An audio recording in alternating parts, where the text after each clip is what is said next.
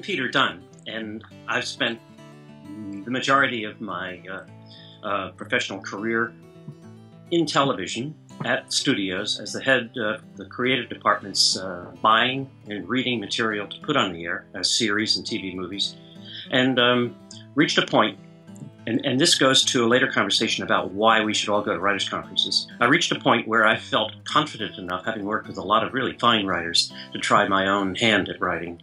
Um, not so much to control the content, but to express some things I felt inside of me that had to be expressed. So I struck out on my own with the blessing of a couple of studios to uh, produce and write television series.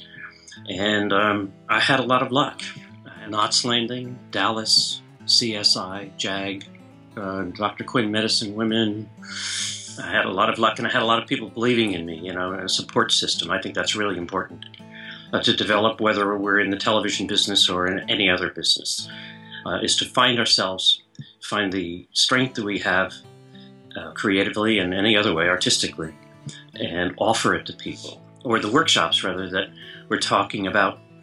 The first one is for the fun of it, what it's like, uh, the writing life in a, in a television network series, uh, to be on a staff, to be on a show, or to write a freelance script for a show.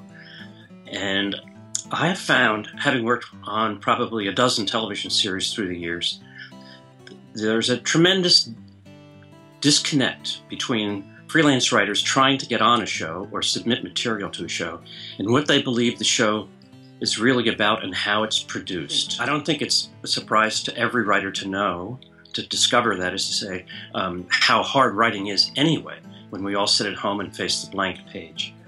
It's, it's that on steroids when you're working on a show. So I think the dream of working on a show has to be realistic, and that will make your submissions more accurate, more, um, more saleable.